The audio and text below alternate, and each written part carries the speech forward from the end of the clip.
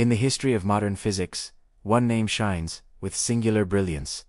Lev Landau. Born in 1908 in Baku, Landau is considered one of the greatest theorists of the 20th century. A brilliant mind, but also a fiercely independent character. As a teenager, he stood out for his extraordinary grasp of math and physics. Entering university at just 14, he soon traveled across Europe, learning from giants like Niels Bohr and Heisenberg. Back in the Soviet Union, Landau built an exceptional theoretical school. His work spanned nearly everything from quantum mechanics to condensed matter physics. It's here he made one of his greatest breakthroughs, the theory of superfluidity in helium, explaining how a liquid could flow without any friction. For this, he was awarded the Nobel Prize in 1962.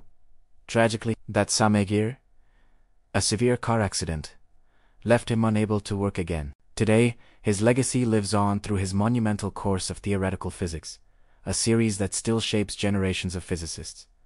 Landau was more than a scientist. He was a vision, a style of thought, and an intellectual force that left a permanent mark on modern physics. Thanks for watching.